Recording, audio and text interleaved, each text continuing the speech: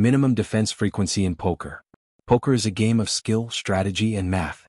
One important concept used by experienced players is something called minimum defense frequency, or MDF for short. This idea helps players decide how often they should continue in a hand when someone bets against them.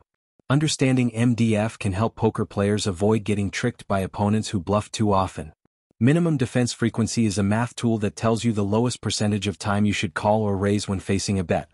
When your opponent bets, they might be bluffing or they might have a strong hand. If you fold too often, smart players will notice and start bluffing more to win easy pots. MDF helps you know how often to fight back so this doesn't happen. The formula for MDF goes like this.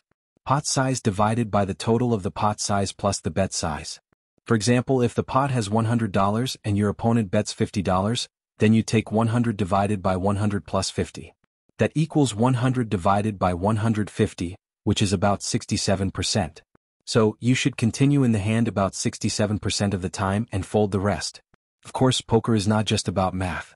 You also need to read your opponent, think about your position, and consider how strong your hand is. But when you're unsure, MDF gives you a solid guide. It helps you avoid folding too often, which can make you an easy target. In conclusion, minimum defense frequency is a helpful strategy for improving your poker game.